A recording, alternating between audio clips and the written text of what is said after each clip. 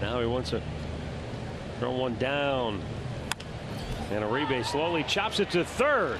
This will get the run home. And the Indians increase their lead to 2 to nothing on Uribe's 23rd RBI of the year. You know, it's funny. He really made a good pitch there. Too good of a pitch because Uribe didn't hit it hard enough to turn a double play. Cuthbert's only play was first base. So Uribe gets the RBI.